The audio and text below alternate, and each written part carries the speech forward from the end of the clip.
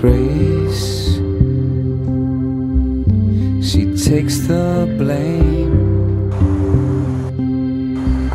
she covers the shame, removes the stain. It could be her name, Grace. It's a name for a girl. also thought that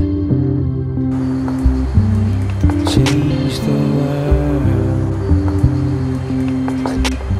And when she walks on the street, you can hear the strings.